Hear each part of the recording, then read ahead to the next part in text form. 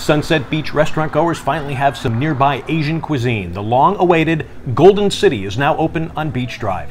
We took a group in for a combo of Chinese and Japanese dishes, and the new owners, three young restaurateurs, did not disappoint. The miso soup was right on, nicely done. A popular choice was the bento box. You get to pick four items mixing Japanese and Chinese. It seems that sushi rolls and sesame chicken were the big choices. The lo mein got a big thumbs up too and no one was complaining. In fact, one person from the north said it was the best Chinese food they had had since moving down here. We agree. The sushi and sashimi were just as good too, and that is coming from yours truly, your personal sushi snob. The Spicy Girl roll had spicy tuna, spicy yellowtail, and spicy salmon. It had a little kick, but not eye-watering by any means, leaning towards mild and moderate. The next was the Green Dragon Roll. That was spicy tuna with avocado and seaweed powder. Besides looking great, the taste was up to the presentation.